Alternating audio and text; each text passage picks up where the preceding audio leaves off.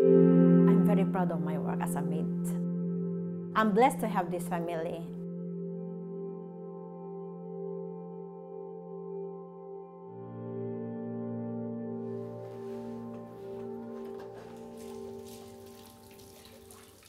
You know, for me, it's like a routine. Like my own house. I get up in the morning, I do my prayer first. After my prayer, I come out. I come out, I do my coffee. I do for them this one. So usually, she got healthy breakfast. ah. Sweet potato, then this hard-boiled egg. The best thing for Mom Dorothy, everything you do things one, she always say thank you to you. All the family, they will say thank you to you. They will appreciate you. How long have you been in Malaysia? 20 over years already lah. Because not yet born the time, see, I start to work for them already. Actually, I finished in Philippines uh, Bachelor of Arts in Public Administration. But the thing is, I like to travel. So I think maybe I can only travel through apply as a maid, you see? You want to go now? Uh, call daddy to reverse car.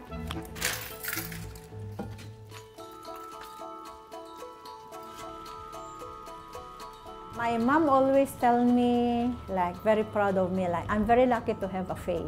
Because during that time, it's a big help for her. lah. They no need for gym transport to worry. No need for them to disturb them in office, you see? Uh, thank you. Yeah, have a nice day to office. Take care. He is really my own son now. Because from baby, used to take care of him.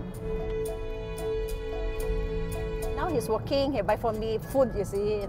Like, I like cheesecake, like that. She buy for me, how expensive also she buy for me. If anything, Jim sick one, I go and take Jim. So they always say, oh, are you the mother? I say, no, I'm the nanny, you see?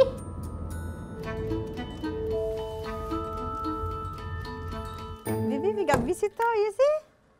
Yeah, you see, we got visitor. See so much of things hang around. it's Auntie Gina room full of things, you see. yeah, this is my room. Lovely room. Is there anything from from your home here? Oh, Or- yes, I have here in the where ah, in my bag. I always carry them when I go off day. Yeah, here is my is my wedding photo. Oh, my wedding is done in what year? Ah, Ah, 1998. ah. So we celebrate in Kampong. Carry this picture around. Yes, all around one. you see, I really purposely do like this so that I carry them, you see. So this is my two sons. They are the love of my life. lah.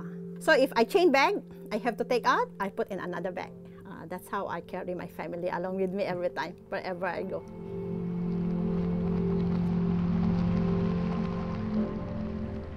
When was the last time you celebrate Christmas with your family? Oh, that is when the two boys is still small. That is like, yeah, long time ago. Long time ago, yeah. Special occasions, you have to be with them. lah. That's the time like really you feel like, you know, I should be home. I brought him so big and handsome.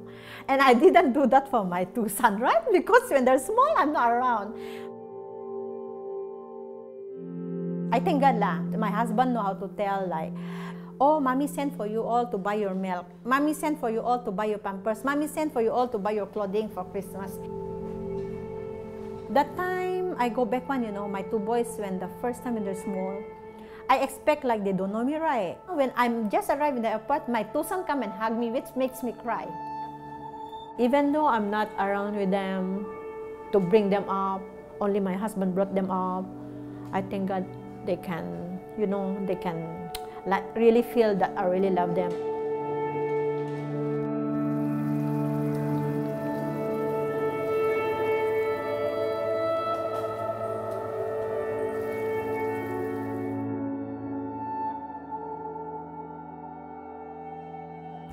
There's some nahat, right, for you? Yeah, okay. Nice, huh? Hmm. Uh, yes, I love my work. Because if you don't love your work, come on. If you don't love your work, you see every day you have to long be long face, you know. I yeah, I face this one, I get up again, do this, this thing, thing. But for me, it's like uh, my routine already. Like this house is my own house, you see. Some people maybe look down at us maid. But for me, I'm very proud as a maid.